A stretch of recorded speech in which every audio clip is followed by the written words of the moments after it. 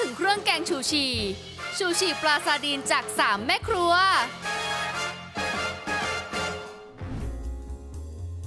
ติดข่าวสวัสดีครับ ไปตามเรื่องดาราไต้หวันที่บอกว่าโดนไถเงิน 27,000 บาทนะครับ เงินแค่ 27,000 บาท แต่ตอนนี้ตำรวจไทยเนี่ยไม่รู้จะใช้เงินเท่าไหร่นะฮะเพื่อกู้ภาพลักษณ์ขององค์กรตำรวจมาให้ประชาชนไว้วางใจได้เหมือนเดิมครับ เรื่องนี้เนี่ยยื้อกันมาตั้งหลายวันนะ ตอนแรกปฏิเสธเสียงแข็งใหญ่เลยฝั่งตำรวจไทยนะคะ ครับ สุดท้ายยอมรับมันมีเรื่องเงินจริง ๆ ด้วยพี่ติ่ง โอ้โห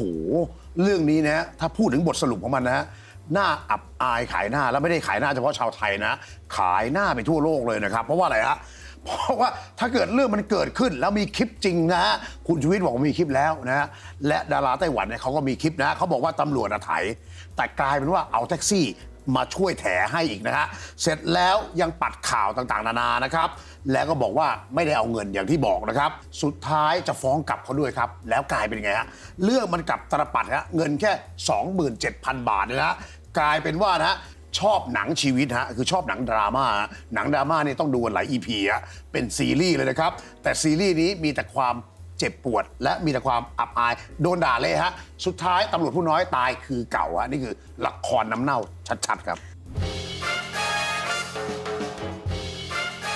ซึ่งตอนแรกเนี่ยตำรวจก็บอกชัดเจนเลยไม่มีด่านเอาตอนหลังบอกมี แต่ว่ามันใกล้ที่จะเลิกแล้ว ไม่มีปรับไม่มีรีดไถสุดท้ายมีหมดเลยนะเนี่ยพี่ เออถ้าคุณจะพูดเรื่องนี้คุณก็ต้องขยี้ตอนแรกที่พูดก่อนนะพบชนเนี่ยบอกว่าไม่ได้มีด่านนะต่อให้มีมันก็ใกล้จะปิดแล้วเพราะมันใกล้หมดเวลาแล้วนะสุดท้ายบอกว่ามีจริงๆนะครับไอ้เรื่องบุหรี่ไฟฟ้าเนี่ยนะบอกว่าพกบุหรี่ไฟฟ้าเนี่ยนะไม่ได้ไปปรับเขานะครับนี่จะโดนมาตรา157ละเว้นการปฏิบัติหน้าที่ด้วยนะครับก็จะเล่นผู้น้อยเหมือนกันนะว่า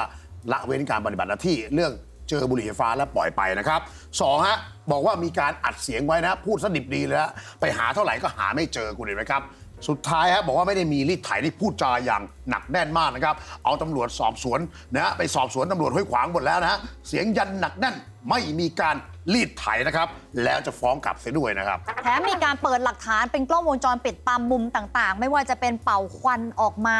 ควันอะไรบางอย่างที่ที่พักครับมีการถือพอร์ต บุหรี่ไฟฟ้าที่ตลาดครับแล้วก็มีกล้องวงจรปิดหน้าสถานทูตจีนที่บอกว่าไม่ได้มีเข้าซอยด้วยค่ะ ครับ ทั้งหมดนี้ก็เป็นพยานหลักฐานที่ตำรวจพยายามจะเอามาปกป้องตัวเอง เพื่อรองรับนะสมการสำคัญเลยคือการไม่ได้รีดไถนั่นเองนะครับซึ่งตรงนี้หลายคนเขาบอกไม่ใช่แล้ว ไอ้ทั้งหมดที่เปิดมามันยังไม่ได้มาแก้ต่างเรื่อง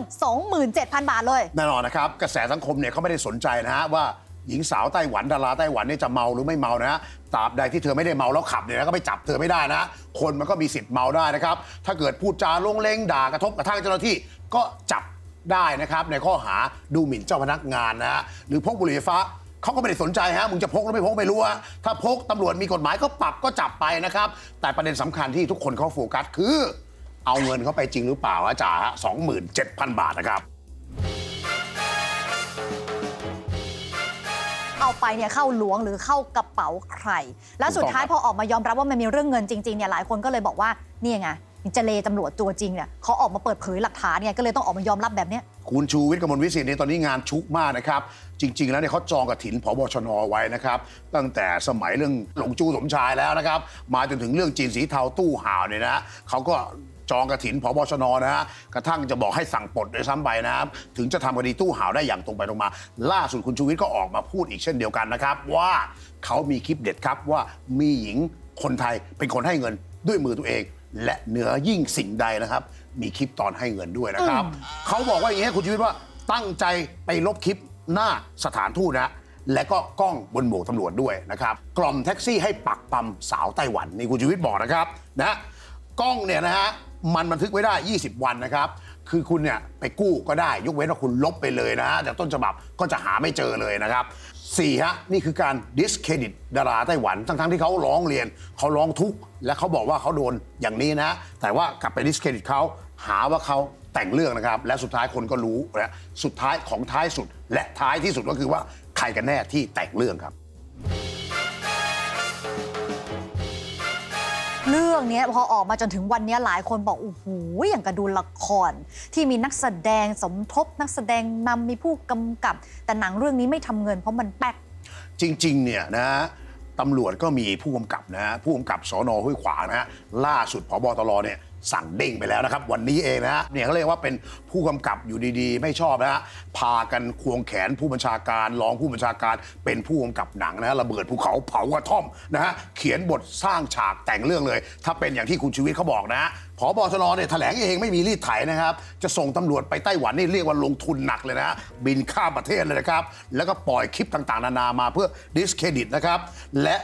ไม่รู้ว่ามีตัวละครลับฮะผู้หญิงไทยที่มีแฟนสิงคโปร์เนี่ย จ่ายเองนะ ถ่ายคลิปเองนี่ตำรวจไม่รู้นะตำรวจตอนแรกบอกมีผู้หญิงคนหนึ่งมีผู้ชายอีก 3 คนนะสุดท้ายตัวละครลับโผล่มาแล้วนะครับ และหนังมันก็ไม่ทำเงินนะ สุดท้ายก็ต้องออกมาสารภาพบาปครับเด้งแล้วนะคะ แถมมีแถลงการออกมาในตั้งโต๊ะแถลงแล้วก็มีรายลักษณ์อักษรด้วย ขอดูรายละเอียดหน่อยว่า สิ่งที่ยอมรับคืออะไรและทำไมเพิ่งยอมรับ เอาตอนนี้ ผบชนเขาบอกอย่างนี้นะครับ วันนี้เขาแถลงการออกมาอย่างนี้ครับว่านะเราสอบต่อนะครับ เราไม่ใช่ว่าสอบเฉพาะที่คุณเห็นเป็นข่าวนะเขาสอบต่อแล้วหลังจากที่ตำรวจบอกว่าไม่มีใครเลยเนี่ยเขาก็เค้นสอบจนกระทั่งมีผบหมู่คนหนึ่งเนี่ยสารภาพเลยนะครับเขาบอกว่าที่มันช้าเนี่ยเขาเพราะว่าพยายามรวบรวมพยานหลักฐาน บุคคล เอกสารคลิปต่างๆ และจำนวนเงินที่แน่นอน นี่ยังไม่รู้ว่าจำนวนเงินที่แน่นอนเท่าไหร่นะเขาบอกก็ใช้เวลาอย่างนี้นะฮะและตำรวจก็รับสารภาพ คนตั้งคำถามเหลือเกินว่าตำรวจเอาเงินจริงหรือเปล่าเขาบอกว่าเท่าที่สืบสวนมาสอดคล้องกับกระแสข่าวคือเอาพูดตรงไปตรงมานะ ภาษาชาวบ้านนะยอมแหละครับ ยอมรับแล้วครับว่ารับเงินจริง ๆ ครับ ทีนี้หลายคนก็บอกว่าไอ้เรื่องแบบนี้มันเป็นเรื่องน่าอับอายมันเป็นเรื่องที่ผิด มันเป็นเรื่องที่เป็นบาปแล้วคนปกติทั่วไปมีฮิริโอตปปะเนี่ยเขาไม่ทำนะ แต่ทำไมถึงยังมีตำรวจรีดไถอีก ทุกมหาลัยในประเทศไทยเนี่ยเคยทำโพลมาอยู่แล้วนะ เรื่องตำรวจรีดไถกับเรื่องประชาชนอะไรพวกนี้นะ ผมยกของนิด้ามาก็ได้นะ ว่าตำรวจชอบรีดไถเพราะอะไรนะครับเขาบอกข้อหนึ่งเนี่ยเพราะว่านิสัยหรือสันดานนะฮะข้อที่สองฮะน่าจะเป็นเพราะเงินเดือนน้อยนะครับ และข้อที่สามฮะอาจจะเป็นเพราะว่าต้องส่งเงินให้เจ้านายหรือซื้อขายตำแหน่งนะครับ และสุดท้ายฮะคนที่ทำผิดเสนอให้ฮะเพราะฉะนั้นมันก็เลย สมยอมทุกอย่างเป็นอย่างนี้นะครับ แต่ผมพูดอย่างนี้อยากจะเห็นแย้งนะครับ ว่าตอนนี้ก็มีกฎหมายปฏิรูปตำรวจแล้วนะประกาศใช้มาแล้วนะครับ และเขาก็เพิ่มเงินเดือนให้แล้วนะใช้งบเนี่ยมากกว่า 2,000 ล้านต่อปีนะฮะเพื่อเพิ่มเงินให้ตำรวจนั้น กินอิ่มนอนอุ่น จะได้ไม่ต้องไปรีดไถประชาชนนะครับ แต่คำถามคือทำไมมันยังมีเรื่องอย่างนี้อยู่นะครับ มันเป็นเพราะว่าตำรวจไม่พอใช้ หรือว่านายไม่เคยพอนะฮะ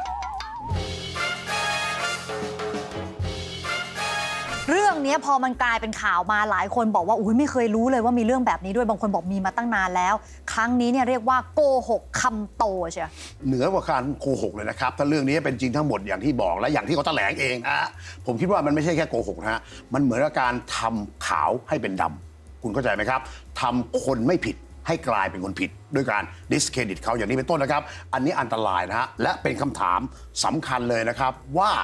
ถ้ามันเป็นอย่างนี้เนี่ยนะฮะเราปกป้องคนผิดไม่กี่คน แต่เอาองค์กรตำรวจไปค้ำประกันเนี่ยนะฮะคำถามคือมันเป็นอย่างนี้มากี่เคสแล้ว และอย่างนี้จะให้ประชาชนเข้าไว้ใจตำรวจได้อย่างไรครับ